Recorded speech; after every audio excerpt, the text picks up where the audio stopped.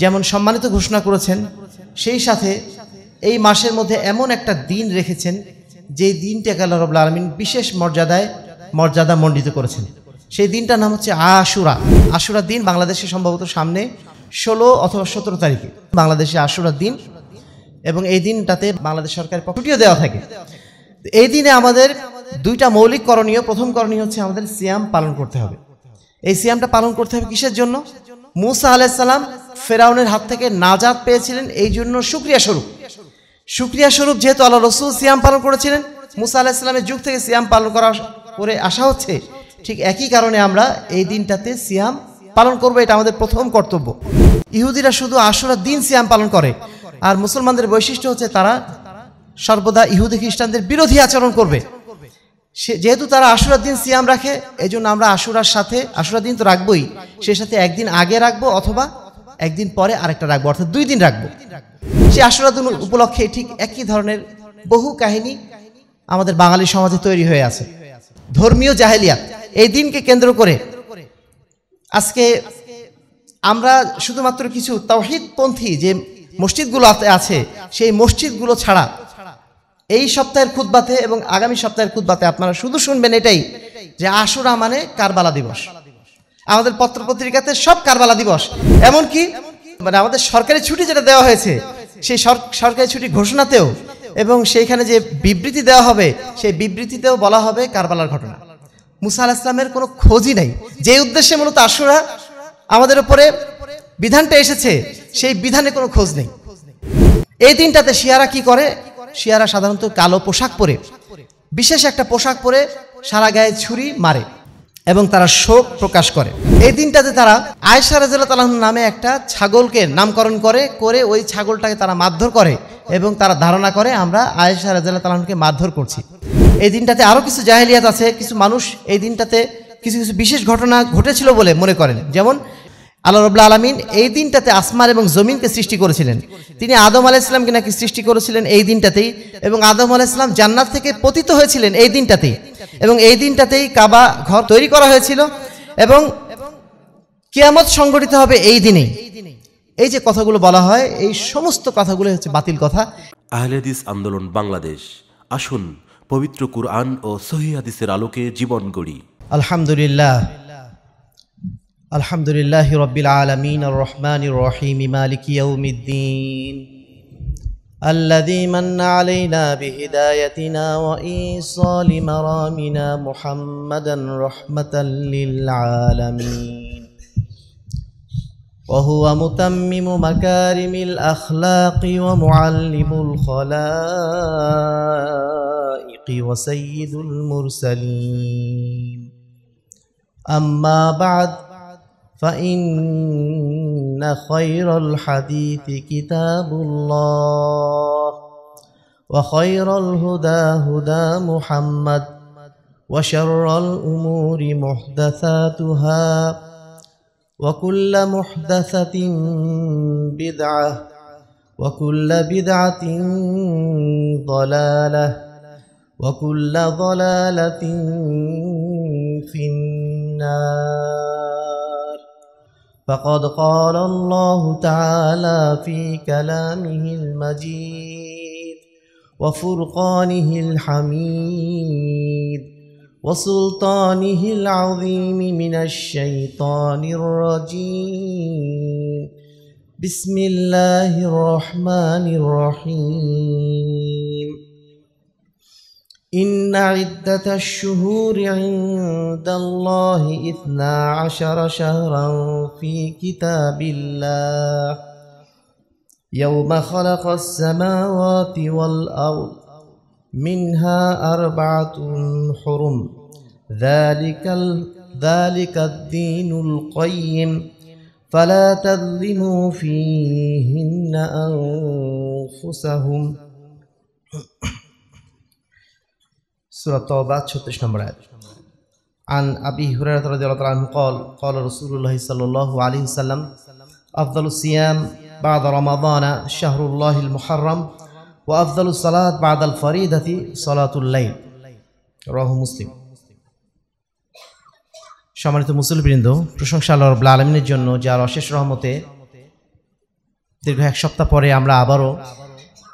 আল্লাহ রবুল্লা আলমিনের সর্বশ্রেষ্ঠ দিন, পবিত্র জুমার দিনে পবিত্র মসজিদে এসে উপস্থিত হওয়ার সৌভাগ্য লাভ করেছি যে আল্লাহ রবুল্লা আলমিন আমাদেরকে সার্বিকভাবে সুস্থ রেখে, নিরাপত্তার সাথে আজকে এখানে একত্রিত হওয়ার সুযোগ দান করেছেন। তার উদ্দেশ্যে আমরা অন্তরে অন্তঃস্থল থেকে শুক্রিয়া আদায় করছি। আলহামদুলিল্লাহ। দরুদ সালাম বর্ষিত হোক শেষ নবী আহমদি মুস্তফা, মোহাম্মদী মুস্তফা সাল আলী আসসালামের প্রতি। যিনি আমাদের একমাত্র আদর্শ, যার দেখি- দেখিয়ে দেওয়া আদর্শ, যার রেখে যাওয়া আদর্শের অনুসরণের মাধ্যম দিয়েই দুনিয়া এবং আখেরাতে আমরা সর্বোচ্চ কল্যাণ লাভ করতে পারি। সে রসুলের উদ্দেশ্যে আমরা সংক্ষেপে দরুদ পাঠ করছি। আল্লাহ সাল্লি আলাই আল্লাহ বারিক আলাই। সম্মানিত মুসলিমবৃন্দ, আজকে বাংলাদেশে সম্ভবত আঠাশি জিলহজ, অর্থাৎ জিলহজ মাসের একদম শেষ প্রান্তে এসে আমরা পৌঁছেছি। এর পরবর্তী যে মাসটা, সেই মাসটা হচ্ছে মুহাররাম। হিজরি সনগুলো হিজরি সনের মধ্যে যে বারোটি মাস রয়েছে, সেই বারোটি মাসের প্রথম মাসের নাম হচ্ছে মুহাররাম। আল্লাহ রবুল্লা আলমিন বলছেন, ইন্না ইদ্দাতা শুহুর ইন্দাল্লাহি ইতনা আশারা শাহরান। ইয়াউমা ফি কিতাবিল্লাহি ইয়াউমা খালাকাস সামাওয়াতি ওয়াল অর্থাৎ আল্লাহ রাব্বুল আলামিন যেই দিন থেকে আসমান এবং জমিন সৃষ্টি করেছেন সেই দিন থেকে আল্লাহ রাব্বুল আলামিন যে দিনগুলো গণনা করছেন, সেই দিনগুলোকে বারোটা মাসে বিভক্ত করেছেন। এই মাসের মধ্যে চারটা মাস রয়েছে হরম। চারটা মাস হচ্ছে সম্মানিত মাস।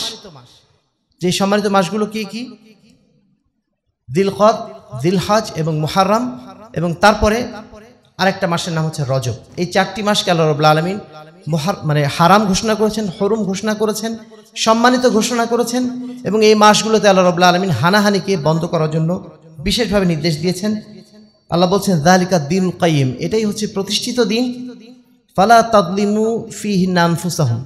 এবং তোমরা এই দিনগুলোতে পরস্পরের প্রতি তোমরা জুলুম করো না, অত্যাচার করো না। সুরা তওবা, ছত্রিশ নম্বর আয়াত।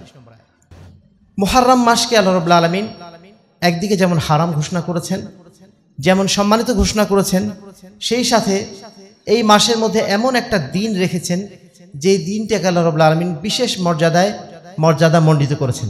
সেই দিনটার নাম হচ্ছে আশুরা। আশুরা মানে দশম দিন। মহারম মাসের দশম দিনকে বলা হয় আশুরা। এই দিনটি মুসলিম উম্মার জন্য একটি গুরুত্বপূর্ণ দিন এই কারণে যে আল্লাহ রসুল সাল্লাহ ইসলাম এই দিনের ফজিলতে বেশ কিছু হাদিস বর্ণনা করেছেন। আবু হুরার থেকে বর্ণিত, তিনি বলছেন, আল্লাহ রসুল বলছেন আফদাল সিয়াম বাদ রমাদানা শাহরুল্লাহ মুহাররাম। যে সিয়ামগুলো আমরা রেখে থাকি, সেই সিয়ামগুলোর মধ্যে সর্বোত্তম সিয়াম হচ্ছে রমজান মাসের সিয়াম। এরপরে সর্বোত্তম সিয়াম হচ্ছে মুহাররাম মাসের সিয়াম, অর্থাৎ মুহাররাম মাসের দশ তারিখের সিয়াম। ও আফদুল সালাদ বা আদাল ফারিদাতি সালাতুল্লাই এবং যাবতীয় সালাদ যে সালাদগুলো বিশেষ করে ফরজ সালাদ যেগুলো আমরা আদায় করি, সেই ফরজ সালাতের পরে সবচেয়ে উত্তম সালাতের নাম হচ্ছে সালাতুল্লাইল অর্থাৎ রাতের সালাদ তাহাজুদের সালাদ অনুরূপভাবে কাতাদা রাজাল আনহু, তিনিও একই কথাই বলছেন, ওয়াসিয়াম আল্লাহ রসুল বলছেন, ওয়াসিয়ামু ইয়াউমি আশুরা, আহতাসিব আল্লাহ আইউকাফির আসানা আল্লাহ তি কবলাহু রাহু মুসলিম। আল্লাহ রসুল বলছেন যে, আশুরার যে সিয়াম, আশুরার দিনের সিয়াম আমি আশা করছি, আল্লাহর কাছে প্রত্যাশা করছি, যে ব্যক্তি এই দিন সিয়াম পালন করবে সেই সেই ব্যক্তি তার পরবর্তী এক বছরের গুণা তার মাফ হয়ে যাবে ইনশাআল্লাহ। ইবনে আব্বাস রাজাল্লাহ আনহু, তিনি বলছেন আল্লাহ রসুল থেকে আল্লাহ রসুল বলছেন, অথবা হাদিসটা মৌকুফ হাদিস, সরাসরি আল্লাহ রসুলের দিকে নিষ্পত করা যে হাদিসটা এসেছে, সেটা সহি সূত্রে প্রমাণিত না, কিন্তু মৌকুফ সূত্রে প্রমাণিত। আব্দুল্লাহ ইবনে আব্বাস বলছেন, সুমু ইয়ৌমা আশুরা। তোমরা আশুরা দিন সিয়াম পালন করো, ওয়া খালিফুল ইয়াহুদ, এবং ইহুদিদের তোমরা বিরোধিতা করো। সুমু কবলাহু ইয়ৌমান ও বাদাহু ইয়ৌমান তোমরা আশুরার দিন সিয়াম পালন করো, সেই সাথে একদিন অথবা একদিন একদিন আগে অথবা একদিন পরে তোমরা সিয়াম পালন করো। কারণ ইহুদিরা শুধু আশুরার দিন সিয়াম পালন করে। আর মুসলমানদের বৈশিষ্ট্য হচ্ছে তারা সর্বদা ইহুদি খ্রিস্টানদের বিরোধী আচরণ করবে। সে যেহেতু তারা আশুরার দিন সিয়াম রাখে এই জন্য আমরা আশুরার সাথে, আশুরার দিন তো রাখবোই। সে সাথে একদিন আগে রাখব অথবা একদিন পরে আরেকটা রাখব, অর্থাৎ দুই দিন রাখব। আল্লাহ রসুল ইসলাম বলেছিলেন যে তিনি যদি বেঁচে থাকেন, মৃত্যুর আগের বছর তিনি বলেছিলেন, আমি যদি বেঁচে থাকি, তাহলে আগামী বছর আমি দুইটা সিয়ামই রাখব। কিন্তু তিনি রাখতে পারেন নাই, তার আগে তিনি মৃত্যুবরণ করেছিলেন। এবার আমরা আসি যে আশুরার দিনটাতে আমরা সিয়াম কেন পালন করব? কেন আল্লাহ রবুল্লা আলমিন এই দিনটাকে বিশেষভাবে মর্যাদা মর্যাদামণ্ডিত করেছেন? এবং আল্লাহ রসুলাম এই দিনটাতে কেন সিয়াম পালনের জন্য আমাদেরকে উৎসাহিত করেছেন? আবদুল্লাহ আব্বাস রাজা তালু বলছেন যে আল্লাহ রসুল যখন আসলেন মদিনাতে, মক্কা থেকে হিজরত করে যখন তিনি মদিনাতে আসলেন, লাম্মা রআন নবী সাল্লাল্লাহু ইয়াহুদা ফিল মদিনা ইয়াসুমুল আশুরা সালাহুম। আল্লাহ রসুল দেখলেন যে ইহুদিরা মদিনা যারা ইহুদি ছিল, তারা সিয়াম পালন করছে আশুরার দিন। মহরম মাসের দশ তারিখে তারা সিয়াম পালন করছে। আল্লাহ রসুল তাদেরকে জিজ্ঞাসা করলেন, এই দিন তোমরা সিয়াম কেন পালন করছ? ফাকালু, হাদা ইয়াউমুন আযীম। এটা একটা মহান দিন। আনজাল্লাহু ফিহি মুসা। এই দিন আল্লাহ রাব্বুল আলামিন মুসা আলাইহিস নাজাদ দিয়েছিলেন ফেরাউনের হাত থেকে। ওয়া কওমাহু, এবং মুসার কওমকে। ওয়া গাররাকা ফিরাউনা, এবং এই দিন তিনি ফেরাউন এবং তার কওমকে পানিতে ডুবিয়ে মেরেছিলেন। ফাসামাহু মুসা শুকরান ফানাহনু নাসুমুহু। এই দিন মুসা আলাইহিস সালাম শুক্রিয়া স্বরূপ সিয়াম রাখতেন প্রতি বছর। এজন্য আমরাও তার অনুসরণে, যেহেতু ইহুদিরা ছিল মুসা আলাহ ইসলামের অনুসারী এই জন্য তারা এই দিনটাকে সম্মান করে এই দিনে তারা সিয়াম পালন করতো। ফকাল রসুল্লাহ সাল্লাহ আলাইসাল্লাম ফানাহনু আহাক্কু ও আউলা বি মুসা কুম আরে তোমরা মুসার মুসার অনুসারী বলে দাবি করো বলে তোমরা আশুরার দিন সিয়াম পালন করছ। আমরা তো তোমাদের চেয়ে বেশি হকদার। মুসা আলাহ ইসলামকে সম্মান করার ক্ষেত্রে আল্লাহ রবুল্লা আলমিন তাকে যে এদিন নাজাদ দিয়েছেন এই জন্য তো আমরা আরও বেশি সিয়াম পালন করার হকদার। এই জন্য আল্লাহ রসুল্লাহাম নিজে সিয়াম পালন করা শুরু করলেন ও আমার আবি সিয়ামিহি এবং তার সাহাবিদেরকেও নির্দেশ দিলেন তোমরা ওই দিন সিয়াম পালন করো। রাহুল বুখারি মুসলিম। আয়সা রাজাল আনহা, তিনি বলছেন, কানা ইয়ম আশুরা ইয়মান তাসুম কুরাইশ ফিল জাহেলিয়া। আশুরার দিনে যে সিয়ামটা, এই সিয়ামটা কুরাইশরাও পালন করত জাহেলিয়াতের সময়।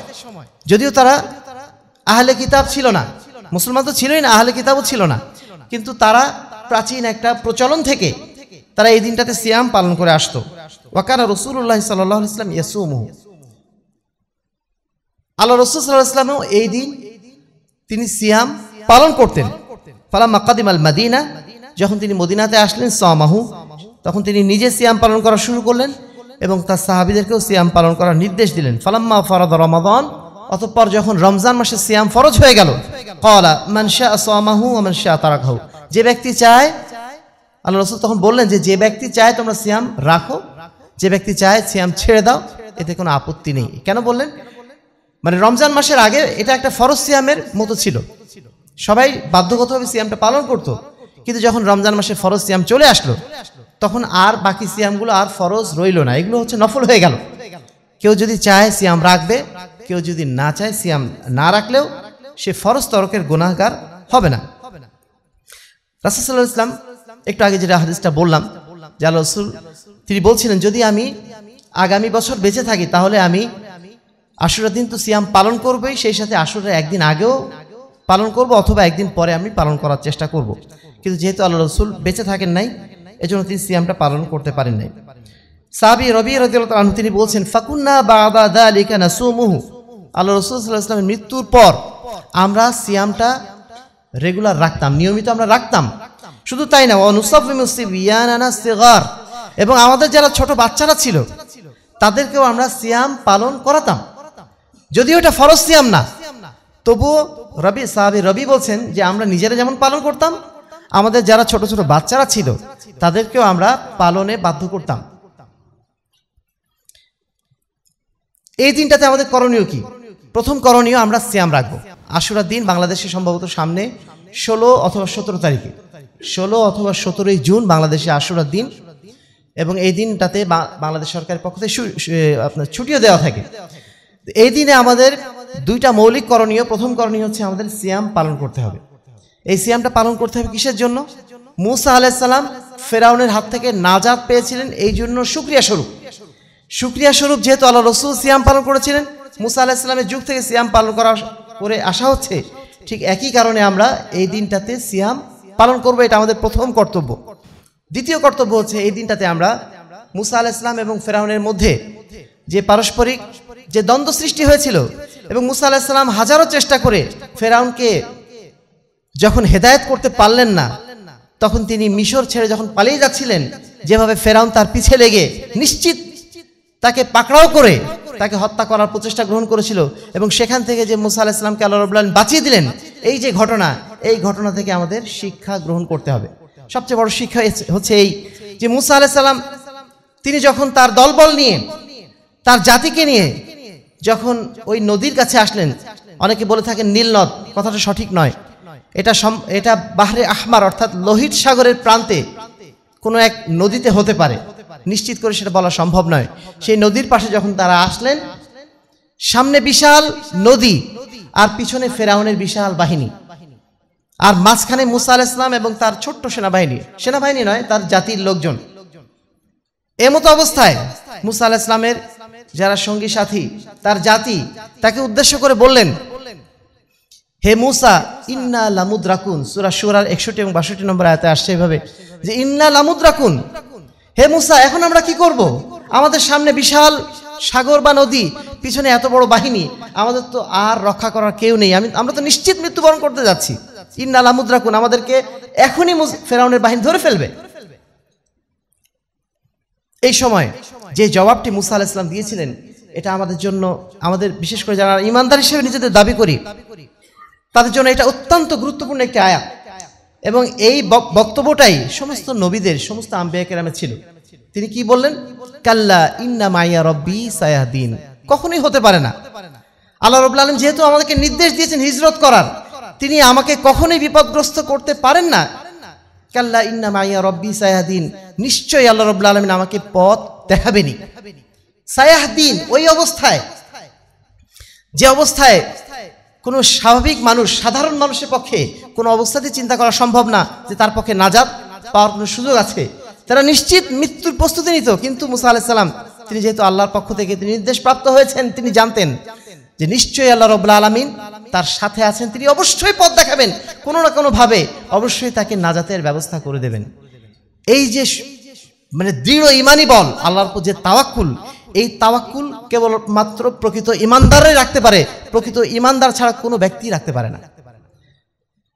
মুসা আল ইসলামের এই ঘটনা থেকে আমাদের সবচেয়ে বড় শিক্ষা হচ্ছে এই ইমানের শিক্ষা তাকুয়ার শিক্ষা। আমরা তাওহিদের কথা বলি। তাওহিদ মানে আজকাল আমরা অনেক সময় মনে করে ফেলেছি যে তাওহিদ মানে শুধুমাত্র আল্লাহ রবুল্লা আলমিন সাত আসমানের উপর আরশে আছেন। এইটুকু বিশ্বাস করার নাম তাওহিদ এবং মাজারে না যাওয়ার নাম তাওহিদ। তাওহিদের সংজ্ঞাটাকে আমরা খুব সংকীর্ণ গণ্ডিতে নিয়ে চলে এসেছি। তাওহিদ জীবনের প্রত্যেকটা মুহূর্তে প্রয়োজন। প্রত্যেকটা মুহূর্তে আল্লাহর উপর তাওয়াক্কুল করা। প্রত্যেকটা মুহূর্তে আল্লাহর বিধানকে মেনে চলা। প্রত্যেকটা মুহূর্তে আল্লাহকে স্মরণ করার নামই তাওহিদ। তাওহিদ মানে শুধুমাত্র কয়েকটা মুখস্থ বলি নয়। আমি আপনি বিপদে পড়ে গেছি, কোনো সমস্যায় পড়ে গেছি, সঙ্গে সঙ্গে এমন অবস্থা হয়ে গেছে। কোনো অবস্থাতে যেন ধৈর্য রাখতে পারছি না। আল্লাহর উপর তাওয়াক্কুল রাখতে পারছি না। হাজার রকম অভিযোগ করে বসছি, মানুষের কাছে যে নানা রকম ধর্ণা দিয়ে বসছি, যারা শক্তিমান ব্যক্তি, তাদের কাছে যে প্রার্থনা করে বসছি, এই সমস্ত অবস্থা আমাদের তৈরি হচ্ছে। তার মানে কি আমাদের যথেষ্ট তাওয়াক্কুলের ঘাটতি আছে, যথেষ্ট ইমানের ঘাটতি রয়েছে। আল্লাহর উপরে প্রকৃত অর্থে যে বিশ্বাসটা আমার থাকা দরকার ছিল, সেই বিশ্বাসটা আমার মধ্যে নেই, যদিও আমরা নিজেকে তাওহিদে বিশ্বাসী বলে দাবি করছি। সম্মানিত উপস্থিতি, তাহলে আমাদের আশুরা উপলক্ষে এই দুটো মৌলিক কর্তব্য, এবার আমরা যেটা আসব বাংলাদেশ কেন? সারা বিশ্বের প্রেক্ষাপটে আজকে মুসলমানদের যে অবস্থা, আমরা মুসলিম উম্মা, ইসলামের মৌলিক বিধিবিধানগুলো যত না অনুসরণ করি, তার চেয়ে কুসংস্কারগুলো বেশি পালন করতে অভ্যস্ত। মৌলিক জিনিসগুলো আমাদের পালন করার খোঁজ নাই। কোথায় কি আজে বাজে কেউ আবিষ্কার করেছে কোনো জিনিস, সেটার পিছনে আমরা পড়ে আছি। নাইনটি নাইন পার্সেন্ট মুসলমানের আজকে এই অবস্থা। এই জন্য যখন আমরা শিখ বেদাতের কথা বলি, তখন তারা তেলে বগুনে জ্বলে ওঠে। তাওহিদ এবং সুন্নাতের পক্ষে কথা বললে, তাদের গায়ে রাগ ধরে যায়। তারা এই কথাগুলো শুনতে চান না। তারা শুনতে চান, কোথায় কি রসম রেওয়াজ আছে, কোথায় কি কুসংস্কার আছে, বাপদাদা কি পালন করে এসেছে, সমাজে কি চলে, এগুলো নিয়েই তারা মহাব্যস্ত। আজকে আশুরার দিন, যে সামনে যে দশটা দিন পরে যে আশুরার দিনটা আসবে, সেই আশুরার দিন উপলক্ষে ঠিক একই ধরনের বহু কাহিনী আমাদের বাঙালি সমাজে তৈরি হয়ে আছে। এই জাহিলিয়াতগুলোর মধ্যে প্রথম যে জাহিলিয়াতের কথা আমরা উল্লেখ করব, সেটা হচ্ছে ধর্মীয় জাহেলিয়াত। এই দিনকে কেন্দ্র করে আজকে আমরা শুধুমাত্র কিছু তাওহিদপন্থী যে মসজিদগুলো আছে, সেই মসজিদগুলো ছাড়া এই সপ্তাহের খুতবাতে এবং আগামী সপ্তাহের খুতবাতে আপনারা শুধু শুনবেন এটাই যে আশুরা মানে কারবালা দিবস। আমাদের পত্রপত্রিকাতে সব কারবালা দিবস। এমনকি এমনকি যে পত্র মানে আমাদের সরকারি ছুটি যেটা দেওয়া হয়েছে, সেই সরকারি ছুটি ঘোষণাতেও এবং সেইখানে যে বিবৃতি দেওয়া হবে, সেই বিবৃতিতেও বলা হবে কারবালার ঘটনা। মুসা আল ইসলামের কোনো খোঁজই নাই। যে উদ্দেশ্যে মূলত আশুরা আমাদের উপরে বিধানটা এসেছে, সেই বিধানে কোনো খোঁজ নেই। সম্মানিত উপস্থিতি, আশুরার দিনটাকে বলা হয়ে থাকে ইয়মুস শাহাদাতি কারবালা। অর্থাৎ কারবালার শাহাদত দিন হুসাইন আলাহ ইসলামের হুসাইন আলাহ ইসলাম না রাজিয়াল আনহু হুসাইন আলাইসালাম আমি আলোচনা একটু পরে আসব। হুসাইন আলাইসালাম নয়, হুসাইন রদিয়াল্লাহ আনহু। হুসাইন, তিনি কোনো নবী ছিলেন না। তিনি কোনো মাসুম ইমাম নন। তিনি হচ্ছেন আল্লাহ রসুল্লাহ ইসলামের দৌহিত্র, তার পৌত্র এবং সেই সাথে একজন জলিলুল কাদার সাহাবি। এজন্য তার নামের সাথে আমরা কি বলব? রদিয়াল্লাহ আনহু। আলাইসাল্লাম বানিয়েছে কারা? পরবর্তী যারা শিয়ারা, ইমামিয়া যারা তারা এগুলো বানিয়েছে। তো হুসাইন রাজিয়াল আনহু তার মৃত্যুকে স্মরণ করে একদল মানুষ তারা, একদল মানুষ কেন? অধিকাংশ মুসলমান তারা এই আশুরা সিয়ামটা তারা পালন করবে। মূলত হুসাইন রাজাল তালাহুর মৃত্যুকে স্মরণ করে এই যে কারবালা দিবসে চালু হলো আশুরার দিনে, এটা চালু হয়েছিল কবে? মূলত আল্লাহ রসুল্লাহ ইসলামের মৃত্যুর প্রায় সাড়ে তিনশো বছর পরে। কে চালু করেছিলেন? আব্বাসী খলিফা মুতি বিন মুক্তাদির। তার আমলে বাগদাদে একজন শক্তিশালী শিয়া শাসক ছিলেন, তার নাম হচ্ছে মরিজুদ্দৌলা এই মরিজুদ্দৌলা কি করল? তিনি তিনশো বাহান্ন হিজড়িতে সর্বপ্রথম বাগদাদের বুকে এই কারবালার নাম দিয়ে আশুরার বিধানটা চালু করা চালু করা শুরু করে দিলেন এবং এই দিন তিনি বললেন যে এই দিন তোমাদেরকে শোক পালন করতে হবে। শোক পালন করার জন্য তিনি নির্দেশ দিয়ে দিলেন বাগদাদবাসীকে। তার এই নির্দেশ শুধু শিয়ারাই মান্য করল। আর যারা সুন্নি ছিল, তারা সেই দিন চুপচাপ থেকে গেল। যেহেতু তারা সংখ্যা লঘিষ্ঠ ছিল, তারা চুপচাপ থেকে গেল তারা তার কিছু বলে নাই। কিন্তু পরের বছর যখন দেখল এই মরিজুদ মরিজুদ্দৌলা যখন দেখল যে সুন্নিরা তো পালন করছে না তখন তিনি বাধ্যতামূলক করে দিলেন যে এই রাষ্ট্রে যারা বসবাস করবে তাদের প্রত্যেককেই আশুরার দিন কারবালা উপলক্ষে বা হুসাইন রাজিয়াল আনহুর মৃত্যু উপলক্ষে এই দিন শোক প্রকাশ করতে হবে। এই ঘোষণা যখন দেওয়া হলো, তখন শিয়া সুন্নিদের মধ্যে মারামারি শুরু হয়ে গেল। সেই যুগ থেকে আজও পর্যন্ত এই আশুরার দিনকে কেন্দ্র করে শিয়া সুন্নিদের মধ্যে নানা দেশের সংঘাত কিন্তু লেগেই থাকে।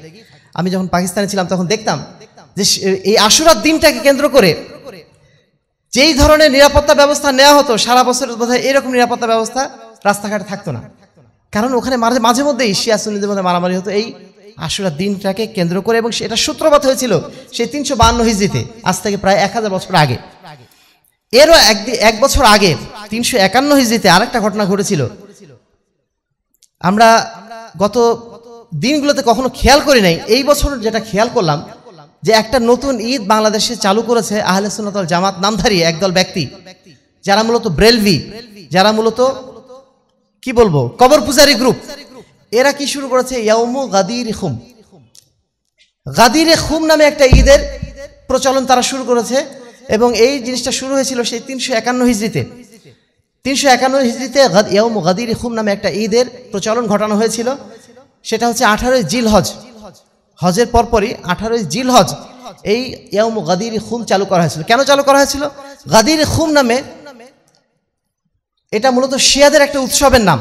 শিয়ারা এই দিনটাকে বিশেষভাবে উদযাপন করে এই জন্য যে আঠারোই জিল হজ আল্লাহ রসুল ইসলাম যখন বিদায় হজ থেকে ফিরে আসছেন, সেই সময় গাদিরে খুম অর্থাৎ খুম নামে একটা কুয়ার সামনে দাঁড়িয়ে আলী রাজিয়াল তালাহু সম্পর্কে একটা মন্তব্য করেছিলেন। সেই মন্তব্যটা কি ছিল? যে মানকুন্তু মাওলাহু ফা আলিউন মাওলাহু, আমি যার মাওলা, আমি যার বন্ধু, আলীও তার বন্ধু বা আলীর বন্ধু যারা, আম- আমার বন্ধু তারা। এই টাইপের একটা ঘোষণা তিনি দিয়েছিলেন। কেন দিয়েছিলেন? কেন আলী রাজিয়াল তালাহুকে কেন্দ্র করে সেই সময় একটু বিতর্ক উঠেছিল। তিনি এক যুদ্ধে তার সেনাবাহিনীর সাথে কিছুটা রূঢ় আচরণ করেছিলেন বলে অভিযোগ ছিল। এটা যখন আল্লাহ রসুলের সামনে এসে বলা হলো, আল্লাহ রসুল তখন প্রচণ্ড ক্ষিপ্ত হলেন এবং বললেন যে, আলীর সম্পর্কে তোমরা এই সমালোচনা করতে পারো না। আলী এমন একজন ব্যক্তি, আমি যার বন্ধু, আলীও তার বন্ধু, এই ধরনের একজন জলিলুল কদর মানুষ। এইভাবে আল্লাহ রসুল্লাহাম আলী রাজিয়াল একটা প্রশংসা করেছিলেন। এই প্রশংসাকে কেন্দ্র করে যারা শিয়া, তারা এই দিনটাকে একটা ঈদের দিন বানিয়ে নিয়েছে। এরপরে ঘটনাক্রমে পঁয়ত্রিশ হিজড়িতে ওসমান রাজিয়াল তালাহুকে যখন শহীদ করে দেওয়া হলো, সেই শহীদ করার দিনটাও ছিল ঘটনাক্রমে আঠারোই জিল হজ তো তিনশো একান্ন হিজড়িতে, তিনশো একান্ন হিজড়িতে যখন মরিজুদ্দৌলা তিনি যখন এই ইয়ামু গাদির খাম বা গাদির খুম নামে এই ঈদের দিনটা চালু করলেন, সেই ঈদের দিনটা চালু করার সময় তিনি মূলত ওসমান রাজাল তালাহুকে যে শহীদ করে দেওয়া হয়েছিল, সেই খুশিতে এই গাদির খুম নামে এই ঈদটা চালু করেছিলেন।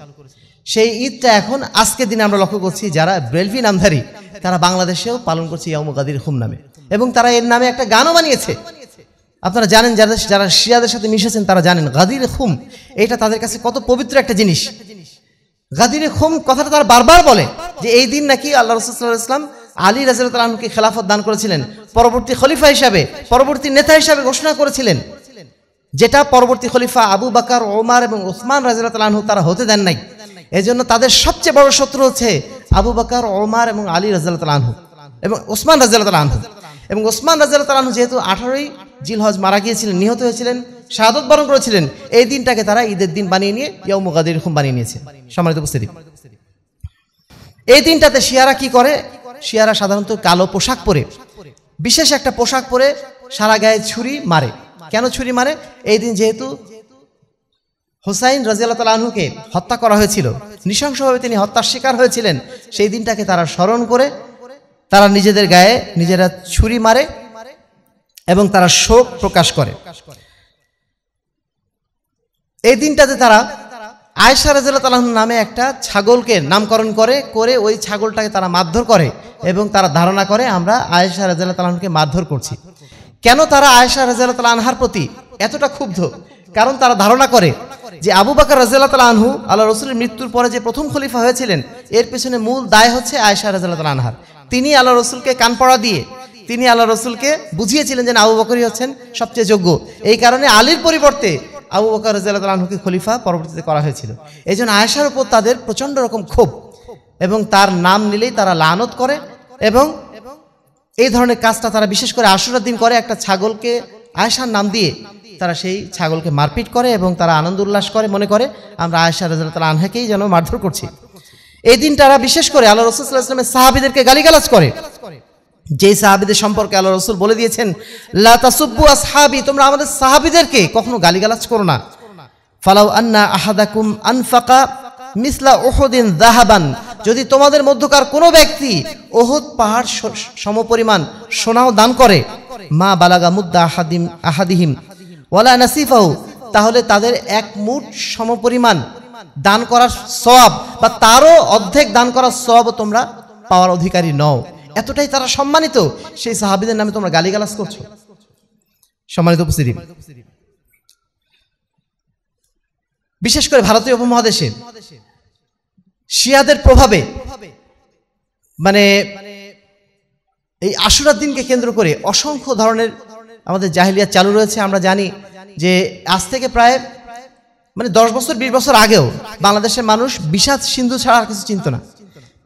কারবালার ইতিহাস মানে বিষাদ সিন্ধু। বিষাদ সিন্ধুতে যা কিছু লেখা রয়েছে, ওগুলোকে তারা কোরআনের মতো বিশ্বাস করতো। অথচ সম্পূর্ণ একটা বানোয়ার জিনিস, সম্পূর্ণ একটা উপন্যাসের মতো একটা ঘটনা, যার সাথে কারবালার মৌলিক ঘটনার কোনো সম্পর্ক নেই। সেই ঘটনাকে কেন্দ্র করে যে ইতিহাস ইতিহাস তো লেখা হয়নি, একটা উপন্যাস লেখা হয়েছে। সেটাকে বাংলাদেশের মানুষ তারা উপর মানে ইতিহাস মনে করে সেটাকে তারা কোরআনের মতো মান্য করা শুরু করে দিয়েছে। সম্মানিত উপস্থিতি। এটা তো গেল ধর্মীয় জাহিলিয়াত। এবারে আসুন। রাজনৈতিক জাহেলিয়াত। বাংলাদেশের এক শ্রেণির ইসলামী দল রয়েছেন, রাজনৈতিক দল, যারা মূলত শিয়াদের প্রভাবে প্রভাবিত। এই দলগুলো এই দিনকে কেন্দ্র করে কারবালা দিবস তো ঘোষণা করেছেই, এবং তারা এই দিন বিশেষ আলোচনা অনুষ্ঠান করে থাকেন।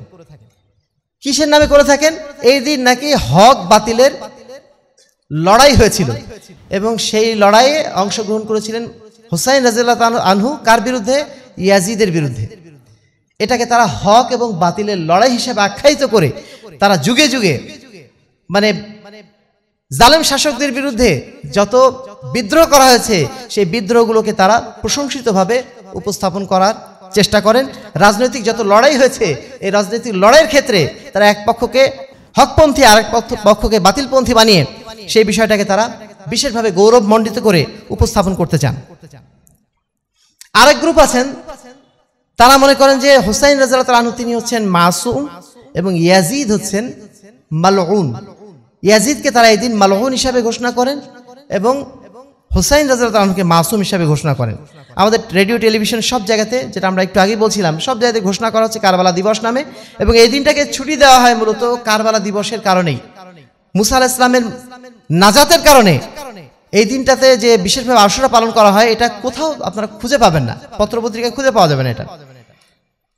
সম্মানিত উপস্থিতি, এই দিনটাতে যে রাজনৈতিক জাহিলিয়াতের কথা বললাম, এই রাজনৈতিক জাহিলিয়াতের বিশ্লেষণটা আমরা একটু পরে আসছি। আরেকটা বিষয় বলব, সেটা হচ্ছে, এই দিনটাতে আরও কিছু জাহিলিয়াত আছে, কিছু মানুষ এই দিনটাতে কিছু কিছু বিশেষ ঘটনা ঘটেছিল বলে মনে করেন। যেমন, সেই দিন বলা হয়ে থাকে যে আল্লাহ রবুল্লা আলমিন যেন আল্লাহ রবুল্লা আলমিন এই দিনটাতে আসমান এবং জমিনকে সৃষ্টি করেছিলেন। তিনি আদম আলাইসলামকে নাকি সৃষ্টি করেছিলেন এই দিনটাতেই এবং আদম আলাহ ইসলাম জান্নাত থেকে পতিত হয়েছিলেন এই দিনটাতেই। এবং এই দিনটাতেই কাবা ঘরকে সৃষ্টি মানে তৈরি করা হয়েছিল এবং কেয়ামত সংগঠিত হবে এই দিনেই। এই যে কথাগুলো বলা হয়, এই সমস্ত কথাগুলো হচ্ছে বাতিল কথা। এগুলো ইসরায়েলি রেওয়াতে এসেছে অথবা জয়ীফ হাদিস এসেছে, জাল হাদিসে এসেছে। এর কোনো সহি বর্ণনা আমরা খুঁজে পাইনি। এছাড়া আরও কিছু বাতিল হাদিস এই দিন কেন্দ্র করে বলা হয়। সেগুলো কোনো অবস্থাতেই গ্রহণযোগ্য নয়। একটাই হাদিস গ্রহণযোগ্য যে বিষয়টা আমরা বলেছি শুরুতেই, যে মুসা আলাহ ইসলামের নাজাতের উপলক্ষে মূলত আশুরা আমাদের উপর নাজির করা হয়েছে। এবার আমরা আসব যে আশুরা সম্পর্কে সঠিক ঘটনাটা আসলে কি। প্রথম যে বিষয়টা আমরা বলেছিলাম, যে এই দিবসটি কোনো অবস্থাতেই কারবালা দিবস নয়। এটা হচ্ছে নাজাতে মুসা উপলক্ষে, মুসা আলাহ ইসলামের নাজাত উপলক্ষে এই আশুরা দিবস আল্লাহ রসুল্লাহ ইসলাম আমাদের উপরে নির্ধারণ করে দিয়েছিলেন। এই দিনটাতে যদি কেউ সিয়াম পালন করেন, এই নিয়তে যে হুসাইন রাজাল্লাহ তালাহু এই দিন মৃত্যুবরণ করেছিলেন, অথবা এটা কারবালা দিবস, এই নিয়তে যদি কেউ সিয়াম পালন করেন, সেই সিয়াম নিশ্চিতভাবে বাতিল হয়ে যাবে। সেই সিয়াম বেদাত হয়ে যাবে। যারাই আমরা সিয়াম পালন করছি, এই নিয়তটা যেন আমরা সঠিক করে রাখি। এই সিয়ামটা যেন অবশ্যই কারবালার উদ্দেশ্যে না হয়, হুসাইন রাজাল তালাহুর মৃত্যু উপলক্ষে যেন না হয়। এটা অবশ্যই নাজাতে মুসা মুসা আলাহ ইসলামের নাজাতের উপলক্ষে যেন হয়। এর কারণটা কি? মূলত যেটা আমরা বলেছি আগে, যে আল্লাহ রসুল সাল্লাহ ইসলামের যুগে কারবালা তো কোনো হদিসই ছিল না। আল্লাহ রসুল মারা গেলেন তারও অনেক দিন পরে, প্রায় পঞ্চাশ বছর পরে, একষট্টি হিজড়িতে হুসাইন রাজাল তালাহু মৃত্যুবরণ করেছিলেন। সুতরাং আল্লাহ রসুলের পক্ষে কোনো অবস্থাতেই হুসাইন রাজাল তালাহুর মৃত্যুর আগেই তার মৃত্যু দিবসকে কেন্দ্র করে কোনো দিবস এভাবে নির্ধারণ করার সুযোগ ছিল না। সুতরাং এটা নিঃসন্দেহে কারবালা দিবস হতেই পারে না। দুই নম্বর হচ্ছে যে কারবালা দিবসটাকে বা কারবালার এই বা আশুরার এই দিবসটাকে আমরা হক বাতিলের লড়াইয়ের মানে একটা প্রেক্ষাপট হিসাবে আমরা ঘোষণা করতে পারি কিনা? না। এটা আমরা কখনোই কারবালার যে যুদ্ধটা হয়েছিল, এটা মূলত হুসাইন রাজালাহুর একটা ইস্তেহাদি ভুলের কারণে হয়েছিল। কারণ ইয়াজিদ তখন অলরেডি খলিফা হয়ে গেছেন। তাকে খলিফা হিসাবে নির্ধারণ করা হয়ে গেছে। এবং সেই সময়ে প্রায় জীবিত ছিলেন ষাটজন সাহাবি। ষাটজন সাহাবি তার হাতে আনুগত্যের বায়াত গ্রহণ করে ফেলেছেন। শুধুমাত্র মদিনায় অবস্থিত চারজন সাহাবি তারা আনুগত্য স্বীকার তখনও করেন নাই। কিন্তু ষাটজন সাহাবি তারা কিন্তু অলরেডি আনুগত্যের বায়াত গ্রহণ করে ফেলেছিলেন।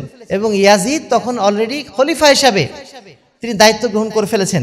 এজন্য তার বিরুদ্ধে বিদ্রোহ করাটা ইসলামের মৌলিক নিষেধাজ্ঞার মধ্যে একটা নিষেধাজ্ঞা। ইসলাম চায় না কোনো অবস্থাতে সমাজে বিশৃঙ্খলা সৃষ্টি হোক। একজন শাসক যখন দাঁড়িয়ে যায়, তখন তার বিরুদ্ধে যখন কেউ বিদ্রোহ করে, নিশ্চয়ই সেই সমাজে পারস্পরিক বিশৃঙ্খলা অবশ্যই তৈরি হবে। ইসলাম কখনো রক্তপাত চায় না। এই কারণে একজন জালিম শাসকও যদি ক্ষমতায় চলে যায়, সেই শাসকের বিরুদ্ধে ইসলাম বিদ্রোহ করতে নিষেধ করে দিয়েছে। তাকে নসিহত করার কথা বলেছে। তাকে নসিহত করতে হবে। যে কোনো মূল্যে তাকে জুলুম থেকে বিরত রাখার চেষ্টা করতে হবে। কিন্তু তার বিরুদ্ধে বিদ্রোহ করা, এটা ইসলামে নিষেধ। এজন্য আবদুল্লাহ ওমর রাজিয়াল বারবার হুসাইন রাজিয়াল নিষেধ করেছিলেন যে আপনি কুফায় যেন না। কুফাবাসী আপনাকে ডাকছে বটে। তারা বলছে আপনারা, আপনাকে তারা সহযোগিতা করবে, আপনার কাছে তারা বায়াত গ্রহণ করবে, আপনার তারা আনুগত্য করবে, কিন্তু এই কথাটা সঠিক নয়। তারা অবশ্যই আপনাকে অপমানিত করবে, লাঞ্ছিত করবে এবং আপনি বিপদগ্রস্ত হবেন, আপনি যেন না সেখানে। কিন্তু হোসাইন রাজাল তালানহু তার ইস্তেহাদি ভুলের কারণে তিনি সেই দিন গিয়েছিলেন কুফায়। কুফায় যাওয়ার পরে যখন তিনি অবস্থা দেখলেন অন্যরকম, যখন দেখলেন যে কুফাবাসী তার কাছে আনুগত্য স্বীকার করে নাই, তাকে ডেকেছিল বটে, কিন্তু তাকে ধোকা দিয়ে তারা পিছনে সরে গেছে এবং তার আনুগত্যের বায়াত গ্রহণ করে নাই। সেই সময় হুসাইন তালানহু তৎকালীন যে শাসক ছিল কুফার উবায়দুল্লাহ জিয়াদ, তাকে ডেকে তিনি বললেন বা তার কাছে তিনি একজন প্রতিনিধি প্রেরণ করলেন। যে আমাকে তিনটা কাজ করার সুযোগ দাও। এক নম্বর কাজ, আমাকে এই কুফা থেকে বেরিয়ে আমাকে মদিনায় আবার ফেরত যাওয়ার সুযোগ দাও। না, আমাকে কুফা থেকে বের হওয়ার সুযোগ দাও। দুই নম্বর হচ্ছে, আমাকে মদিনায় যাওয়ার সুযোগ দাও। আর তিন নম্বর হচ্ছে, আমাকে ইয়াজিদের হাতে বায়াত করার জন্য বাগদাদে নিয়ে চলো। এই তিনটা প্রস্তাব তিনি রেখেছিলেন। শান্তিপূর্ণ প্রস্তাব তিনি রেখেছিলেন। তিনি বিদ্রোহ করার জন্য যে যান নাই, এটা একটা বড় প্রমাণ।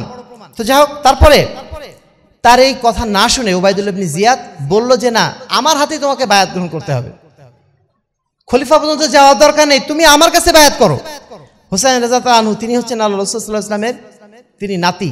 তিনি একজন জলিল কদর সাহাবি। তিনি জান্নাতে যুবকদের সর্দার। এই মর্যাদাবান সাহাবি ওবায়দুল্লাহ ইবনে জিয়াদের হাতে বায়াত গ্রহণ করতে তিনি মোটেও রাজি ছিলেন না, আগ্রহী ছিলেন না। ফলে যেটা হওয়ার হয়ে গেল। পারস্পরিক যুদ্ধ শুরু হয়ে গেল। উবায়দুল্লাহ ইবনে জিয়াদ সীমার বিন সীমার নামে একজন ব্যক্তিকে পাঠিয়ে দিল যুদ্ধের জন্য এবং সেই যুদ্ধে হুসাইন রাজুল্লাহ তালাহুকে মর্মান্তিকভাবে নিহত করা হলো। তার গলাকে কেটে ফেলে দেওয়া হলো, তার শিশু বাচ্চাদেরকে আঘাত করা হলো। সেই মর্মান্তিক যে অবস্থা তৈরি হয়েছিল, সেই মর্মান্তিক অবস্থার জন্য প্রত্যেকটা মুসলমানের হৃদয় আজও পর্যন্ত কাঁদে। অবশ্যই কাদার কথা। যে মর্মান্তিকভাবে তাকে নিহত করা হয়েছিল, আমরা সবাই তার জন্য ব্যথিত। এবং শুধুমাত্র আমরাই নই, সেই দিন যে ইয়াজিদ, যার কাছে মানে তখন খেলাফত ছিল, সেই ইয়াজিদ, যাকে আমরা মালউন বলছি অনেকেই, যাকে আমরা নিন্দিত বলছি, সেই ব্যক্তি কি করেছিল? সেই দিন তার এই মৃত্যুর খবর শুনে তিনি কান্নাকাটি শুরু করে দিয়েছিলেন। এবং যখন হোসেন রাজাল রানহুর মাথা নিয়ে তার দরবারে উপস্থাপন করা হয়, তখন তিনি অত্যন্ত রাগত স্বরে উবায়দুল্লাহ ইবনে জিয়াদের উদ্দেশ্যে বলেছিলেন যে, হে উবায়দুল্লাহ ইবনে জিয়াদ, তুমি যে কাজ করেছ, এই কাজটা অত্যন্ত অন্যায় হয়ে গেছে। তুমি যদি, তোমার সাথে যদি হুসাইন রাজাল তালানহুর রক্তের সম্পর্ক থাকতো, তোমরা কখনো এই কাজ করতে পারতে না। আমি হুসাইন রাজাল তালানহুর মৃত্যু ছাড়াও, তাকে হত্যা করা ছাড়াও, তার সাথে যুদ্ধ করা ছাড়াও, আমরা মদিনাবাসীকে মদিনাবাসীকে বা কুফাবাসীকে আমার আনুগত্য স্বীকার করাতে পারতাম। তোমরা যে কাজ করেছ, এটা অত্যন্ত অন্যায় কাজ হয়ে গেছে। এবং সেই সাথে সাথে হুসাইন রাজাল তালানহুর সন্তান, তার স্ত্রীদেরকে অত্যন্ত সম্মানের সাথে তার রাজপ্রাসাদে তিনি গ্রহণ করেছিলেন এবং তাদেরকে সসম্মানে আবার মদিনায় পাঠানোর ব্যবস্থা করেছিলেন। তিনি কখনোই চান নাই হুসাইন রাজু তার হাতে নিহত হোক এবং সেটাকে কেন্দ্র করে তিনি অত্যন্ত ব্যথিত ছিলেন। সময় উপস্থিতি, ইয়াজিদকে মালউন বলা হচ্ছে। ইয়াজিদ আসলে মালউন কিনা এই বিষয়ে ইতিহাসে লম্বা আলোচনা রয়েছে। যারা আহলুসুন্নাতল জামাতের অনুসারী তারা ইয়াজিদ, যিনি ছিলেন মোয়াবিয়া রাজুর সন্তান। তাকে কখনো মালউন তারা বলেন না। অবশ্যই ইয়াজিদকে আমরা প্রশংসা করছি না। যেহেতু তার আমলেই হুসাইন রাজাল মৃত্যু হয়েছিল, তিনি চাইলে ঠেকাতে পারতেন বলে আমাদের ধারণা। ঠেকাতে হয়তো পারেন নাই বা কোনো কারণে পারেন নাই, যেটাই হোক না কেন, তার শাসন আমলে যেহেতু এই মর্মান্তিক ঘটনা ঘটেছে এই জন্য তাকে আমরা প্রশংসাও করছি না। কিন্তু তার অর্থ এই না যে আমরা তাকে মালউন বলব, লানতপ্রাপ্ত বলব। কেন? এর পিছনে আরও কিছু কারণ আছে, যেমন ইমাম গাজদালি তিনি বলছেন এক্ষেত্রে যে ইয়াজিদ সহা ইসলাম হু ইয়াজিদ একজন মুসলমান ছিলেন। তিনি কোনো কাফের ছিলেন না, তিনি কোনো মুশরিক ছিলেন না। ওয়ামা সাহা কাতলুহু হুসাইন রাজু এবং তিনি আসলে হুসাইন রাজু হত্যাকারীও ছিলেন না। ওয়ালা আমারহু, তিনি তাকে হত্যা করার নির্দেশও দেন নাই। ওয়ালাই অর্দা বিদালিকা, এবং তিনি এজন্য সন্তুষ্টও হন না হন নাই। তাকে যে হত্যা করা হয়েছে, এজন্য তিনি সন্তুষ্টও ছিলেন না। অতএব তাকে মালউন বলা উচিত হবে না। সেই সাথে আরেকটি বিষয় আল্লাহ রসুল্লাহ ইসলাম তিনি বলেছেন, তার মৃত্যুর আগে ভবিষ্যৎবাণী করে করেছিলেন যে আউ্বালু জৈশিন মিন উম্মাতি ইয়াকজুনা আল বাহরা নিশ্চয়ই আমার উম্মতের মধ্যে একটা দল অবশ্যই থাকবে যারা সাগরে যুদ্ধ করবে। যারা সাগরে যুদ্ধ করবে, কদ আউজাবু, যারা এই যুদ্ধে অংশগ্রহণ করবে, কদ আউজাবু আল জান্না তারা যেন জান্নাতকে অপরিহার্য করে নেয়, অর্থাৎ তারা অবশ্যই জান্নাতি হবে। ওকাল আউআল জৈশিন মিন উম্মতি ইয়াকজুনা মাদিনাতা কাইসার মাগফুরুল্লাহু আমার উম্মতের মধ্যে যারা কাইসার শহর, অর্থাৎ তৎকালীন যে রোমক মানে সাম্রাজ্যের যে রাজধানী, কনস্টান্টিনোপল, আজকের দিনে যে যেটাকে বলা ইস্তাম্বুল, এই ইস্তাম্বুল যারা জয় করতে পারবে, তাদের জন্য তারা হচ্ছে মগফুরুল লাহুম, তাদেরকে ক্ষমা করে দেওয়া হবে। এই যে ভবিষ্যৎবাণী আল্লাহ রসুল করেছিলেন, সেই ভবিষ্যৎবাণী করার পরে সর্বপ্রথম নৌযুদ্ধে সৈন্য পাঠিয়েছিলেন মোয়াবিয়া রাজাল্লাহ আনহু সাতাশ হিজড়িতে এরপরে তারই সন্তান একান্ন বান্ন হিজড়িতে ইয়াজিদকে, ইয়াজিদের নেতৃত্বে আউআলু জৈশিন উরসিলা তাহতা ইয়াজিদ আল্লাদি আল্লাদি ফিহি আবু ইউস, আবু আইব আল আনসারি যেই যুদ্ধে সর্বপ্রথম কায়সার অর্থাৎ কনস্টান্টিনোপল মানে জয় করা হয়, সেই যুদ্ধের সেনাপতি ছিলেন ইয়াজিদ। ইয়াজিদ ছিলেন সেই যুদ্ধের সেনাপতি এবং সেই যুদ্ধে অংশগ্রহণ করেছিলেন তার অধীনে থেকে সাহাবি আবু আইয়ুব আল আনসারের মতো একজন জলিল কদর সাহাবি। সেই যুদ্ধে যে তারা কনস্টান্টিনোপল জয় করেন বান্ন হিজড়িতে, সেই কনস্টান্টিনোপল জয় করার পরে ইয়াজিদ এসে হজব্রত পালন করেন, তারপরে তিনি কিন্তু শাসক হন। এই যে ঘটনাটা, এই ঘটনার উল্লেখ করে অনেক মহাদ্দিসিন কেরাম ওলামাই কেরাম তারা বলছেন যে ইয়াজিদ, যেহেতু প্রথম কায়সার জয় করেছিলেন, প্রথম কনস্টান্টিনোপল তিনি জয় করেছিলেন, আশা করা যায় তিনি জান্নাতপ্রাপ্ত এবং ক্ষমাপ্রাপ্ত বান্দাদের মধ্যে ইনশাল্লাহ অন্তর্ভুক্ত হবেন। যদি এটাই হয়, তাহলে কি তাকে মালউন বলে ঘোষণা করা, যেটা শিয়ারা করছে এবং শিয়াদের অনুসারী যারা, তারা আজকে মালউন বলে ঘোষণা করছে, এই কাজটা কি কখনো উচিত হবে? সম্মানিত উপস্থিতি। তাহলে যেটা বলছিলাম, যে কোনো অবস্থাতেই যেন আমরা এটাকে আমরা হক বাতিলের লড়াইয়ের ক্ষেত্র না মনে করি। এটা হুসাইন রাজাতলানহুর একটা রাজনৈতিক ভুল ছিল, ইস্তিয়াদি একটা ভুল সিদ্ধান্ত ছিল, যেটা কোনো সাহাবি কিন্তু সমর্থন করেন নাই। যদি এটা হক বাতিলের লড়াই হতো, তাহলে সাহাবাই কেরাম এটাকে সমর্থন করতেন না। ষাটজন সাহাবি, তারা কেউ তৎকালীন যুগে বেঁচেছিলেন ষাটজন সাহাবি, তারা কেউ সমর্থন করলেন না। তাহলে সেই যুদ্ধটাকে আমরা কখনো হক বাতিলের লড়াই বলতে পারি? কোনো অবস্থিতি বলতে পারি না, সম্মানিত উপস্থিতি। এবারে আসুন যে কারবালাকে আমরা শোক দিবস হিসাবে ঘোষণা করতে পারে কিনা? ইসলামে আসলে শোক দিবস বলে কোনো কিছু নেই। ইসলামের শোক দিবস বলে কিছু নেই। ইসলামের শোক দিবস ঘোষণারও কোনো সুযোগ নেই। এমনকি ইসলামে শোক করার জন্য মাত্র তিন দিন সুযোগ দেওয়া হয়েছে। শুধুমাত্র স্ত্রীর ক্ষেত্রে একটু লম্বা সময় দেওয়া হয়েছে ইদ্যত পালনের জন্য। চার মাস, দশ দিনের একটা সময় দেওয়া হয়েছে। এই ছাড়া সাধারণভাবে তিন দিনের বেশি কারও মৃত্যুতে শোক প্রকাশও করা যাবে না। সেইখানে আমরা বছরের পর বছর হুসাইন রাজাত রানহুর মৃত্যুর জন্য শোক হিসাবে, শোক দিবস হিসাবে এই আশুরা পালন করব। এটা নিঃসন্দেহে একটা অন্যায়, বেদাত এবং নিঃসন্দেহে ইসলামের মধ্যে নতুন একটা আবিষ্কার। কারণ এই ধরনের মৃত্যু, এই যে হুসাইন রাজাত রানহুর একটা মর্মান্তিক মৃত্যু হয়েছিল, এই মৃত্যু শুধুমাত্র হুসাইন রাজাত রান হয়নি, ইসলামের তিন খলিফার মৃত্যু। ইসলামের তিন খলিফার মৃত্যু হয়েছিল এইভাবে। ওমার রাজাত রানহু ওসমান রাজাত রানহু এবং আলী রাজাত রানহু তিনজনকেই নিহত করা হয়েছিল। মর্মান্তিকভাবে। এরপরে সাহাবিদের অনেকেই মর্মান্তিকভাবে নিহত হয়েছেন। আম্বিয়া কেরাম ইতিপূর্বে কত গত হয়েছেন? মর্মান্তিকভাবে তারাও নিহত হয়েছিলেন। কিন্তু তাদের কারণ মৃত্যু দিবস উপলক্ষে আমরা শোক পালন করি না, শোক দিবস ঘোষণা করি না। কেন শুধুমাত্র হোসেন রাজাতলাহুকে উপলক্ষ করে শোক দিবস ঘোষণা করতে হবে? নিঃসন্দেহে এটা একটা বাতিল পন্থা। যেই পন্থা আল্লাহ রসুল্লাহাম আমাদেরকে বলেন নাই অনুসরণ করতে এবং আমাদের জন্য নির্ধারণ করে দেননি সম্মানিত উপস্থিতি, সর্বশেষ যেটা, সেটা হচ্ছে আমি শুরুতে যেটা বললাম যে হুসাইন রাজাতলানহু তাকে আমরা রাজি আল্লাহ তালা আনহু বলব না। সরি রাজিয়াত আনহু বলব আলহিসাল্লাম বলব না। আলহিসাল্লাম এরা কারা বলে? এরা বলে শিয়ারা। শিয়াদের বারো জন ইমাম আছেন।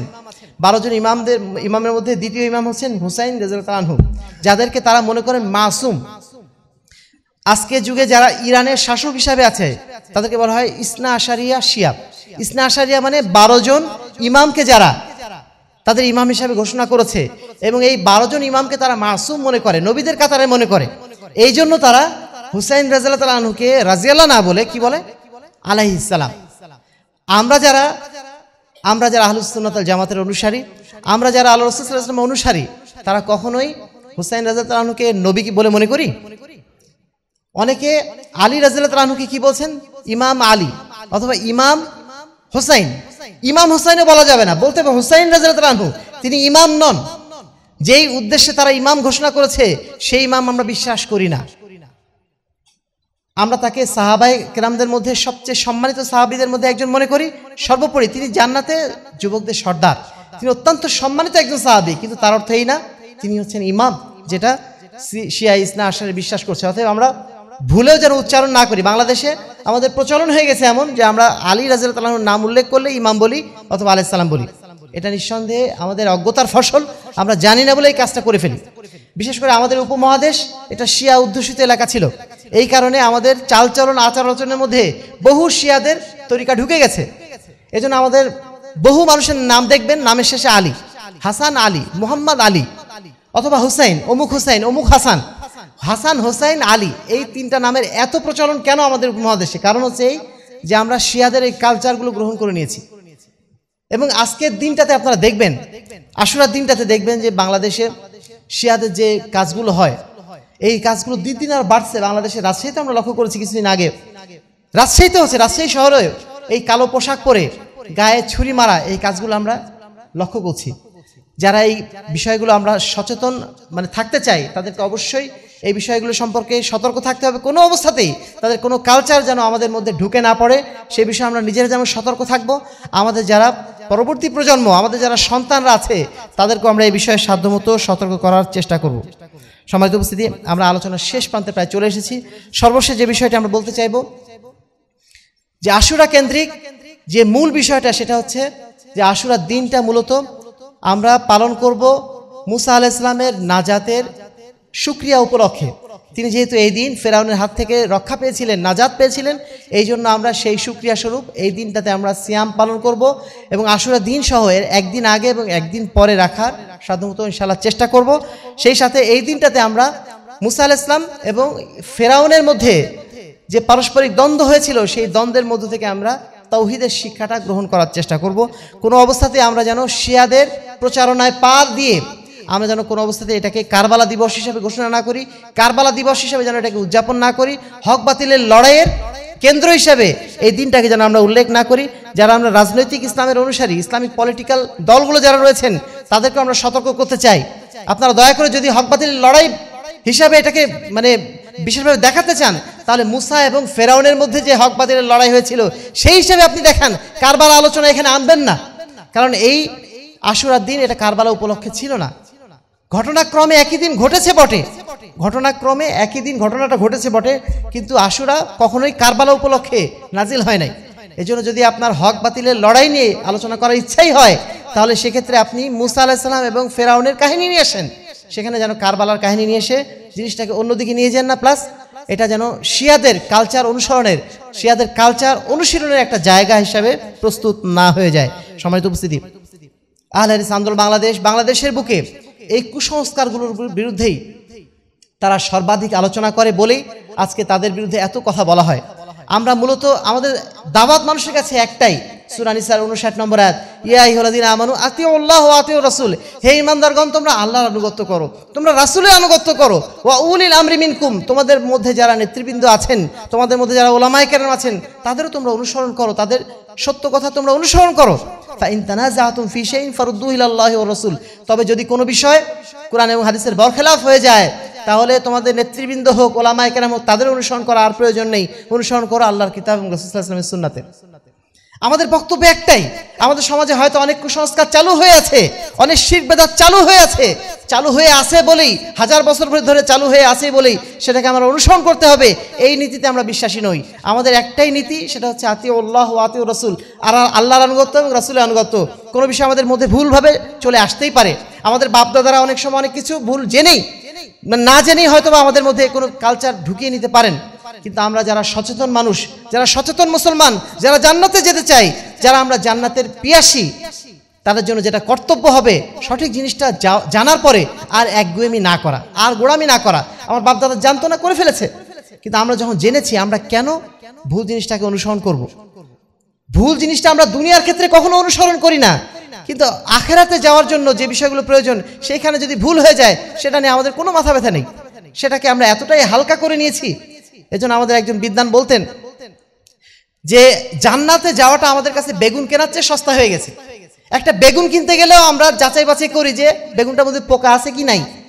অথচ কোনো ইবাদতের ক্ষেত্রে আমরা, আমাদের কোনো যাচাই বাছাই করার কোনো প্রয়োজন হয় না। বাপদাদা করেছি, ব্যাস করেছি। বেগুন কেনার চেয়ে আপনি জান্নাতকে বা আমরা জান্নাতকে সস্তা করে ফেলছি। আমাদের ভাবার দরকার, যারা আমরা এখানে উপস্থিত রয়েছি, যারা উপস্থিত নেই। প্রত্যেকের প্রতি আমাদের একটাই আহ্বান সুরানিসার উনষাট নম্বর আয়াতটা, এটা আমাদের জীবনের মৌলিক যাত্রাপথের পথিক যেন হয়। এটাই যেন আমাদের মূল রাস্তা হয়। আতি উল্লাহ আতি রসুল, আল্লাহর আনুগত্য এবং রাসুলে আনুগত্য করো। এর সাথে সাথে অবশ্যই আমরা ওলামায় কেরামকে অনুসরণ করতেই হবে। যারা জানেন, তাদের কাছে জানার জন্য আল্লাহ রবুল্লা আলমিন আমাদেরকে নির্দেশ দিয়েছেন ফাস আলু আহ্লা দিকরিন কুন্তুমলা আলম যদি তোমরা নিজেরা না জানো তাহলে যারা জানে তাদের কাছ থেকে জেনে নাও। অবশ্যই জানতে হবে। কিন্তু তার অর্থ এই না, যদি কেউ ভুলভাবে কোনো বিষয় আপনার কাছে উপস্থাপন করে, যেটা কোরআন এবং হাদিসের বিপরীত, সেটাও আপনার অনুসরণ করতে হবে। এই অবস্থান যেন আমরা কোনো অবস্থাতে গ্রহণ না করি। যদি করি, নিঃসন্দেহে আমাদের ধ্বংস আমরা নিজেরাই ডেকে আনব। সম্মানিত উপস্থিতি, সর্বশেষ কথা হচ্ছে এই যে আমরা যেন প্রকৃত অর্থে ইসলামের অনুসারে যেন আমরা হতে পারি। সেই সাথে আমাদের আমাদের যে পালিত ইসলাম, যে ইসলাম আমরা পালন করছি, সেই ইসলাম যেন আমরা জেনে শুনে পালন করার চেষ্টা করি। যতটুকুই আমরা আমল করি না কেন, সেটা যেন যথাযথভাবে জেনে শুনে করি, তাহলে ইনশাল্লাহ এই আমলটা আমার জন্য ফলপ্রসূ হবে, আমার দুনিয়া এবং আখেরাতে কাজে লাগবে। আর যদি না জেনে, না বুঝে ভুল ক্রমে হাজারো আমল করি, সে আমলগুলো যদি কোরআন এবং হাদিসের বিপরীত হয়ে যায় সেটা নিঃসন্দেহে আমার জন্য কোনো কল্যাণকর বিষয় হবে না। দুনিয়া এবং আখেরাতে সেটা কোনো অবস্থাতে আমার জন্য মঙ্গল বয়ে আনবে না। সেই বিষয়টা যেন আমরা সাধারণত খেয়াল রাখি। আল্লাহ রবুল্লা আলমিন আমাদের প্রত্যেককে ইসলামকে পরিপূর্ণভাবে অনুসরণ করার তৌফিক দান করুন। আমাদের মধ্যে যে ভুল ভ্রান্তিগুলো রয়েছে, সেই ভুল ভ্রান্তিগুলো আল্লাহ রবুল্লা আলমিন বেঁচে থেকে সেখান থেকে যেন আমরা সঠিক ইসলাম অনুসরণ করতে পারি, সেই তৌফিক যেন আল্লাহ রবুল্লা আমাদেরকে সকলকে দান করেন। সর্বশেষ আল্লাহ রবুল্লা আলমিন আমাদের প্রত্যেকে যেন কাল কিয়ামতের ময়দানে তার জান্নাত প্রাপ্ত বান্দাদের মধ্যে যেন আমাদেরকে অন্তর্ভুক্ত করে নেন আল্লাহ আমিন ওয়াখির দাওয়ানা আনিল হামদুলিল্লাহ রবিল আলমিন ইন আলহামদুলিল্লাহ نحمده ونستعينه ونستغفره ونؤمن به ونتوكل عليه ونعوذ بالله من شرور أنفسنا ومن سيئات أعمالنا من يهدي الله فلا مضل له ومن يضلله فلا هادي له ونشهد أن لا إله إلا الله ونشهد أن محمدا عبده ورسوله أما بعد فأعوذ بالله من الشيطان الرجيم বিসমিল্লাহ রহমান রহিম। ইয়া আইয়ুহাল্লাযীনা আমানু সাল্লু আলাইহি ওয়া সাল্লিমু তাসলিমা। আল্লাহুম্মা সাল্লি আলা মুহাম্মদ ওয়া আলি মুহাম্মদ কামা সাল্লাইতা আলা ইব্রাহিম ওয়া আলা আলি ইব্রাহিম ইন্নাকা হামিদুম মাজিদ। আল্লাহুম্মা বারিক আলা মুহাম্মদ ওয়া আলা আলি মুহাম্মদ কামা বারাকতা আলা ইব্রাহিম ওয়া আলা আলি ইন্নাকা হামিদুম সম্মানিত উপস্থিতি, আজকে আমরা যে আলোচনাটা উপস্থাপন করলাম, মূলত এই বইটা সার নির্যাস আশুরায় মোহারম এবং আমাদের করণীয়। এই বইটা আপনারা নিজেরা পড়বেন এবং আপনাদের আত্মীয় স্বজন যারা আছেন, তাদের কাছে অবশ্যই হাদিয়া দেওয়ার চেষ্টা করবেন, যেন তারা আশুরার নামে এই ভুলগুলো থেকে তারা যেন নিজেরা বাঁচতে পারে এবং সেই সাথে তাদের পরিবার, পরিজন, আত্মীয় স্বজনকে যেন বাঁচাতে পারে। এই জন্য এই বইটা আপনারা নিজেরা পড়বেন এবং আত্মীয় স্বজনকে অবশ্যই হাদিয়া দেওয়ার চেষ্টা করবেন। সেই সাথে আরও দুটো বই সম্প্রতি বের হয়েছে আমাদের হাদিস ফাউন্ডেশন হাদিস ফাউন্ডেশন বাংলাদেশ থেকে। একটা হচ্ছে আল্লাহ সান্নিধ্য লাভে ইবাদত, গুরুত্ব তাৎপর্য, ডক্টর কাবিরুল ইসলাম।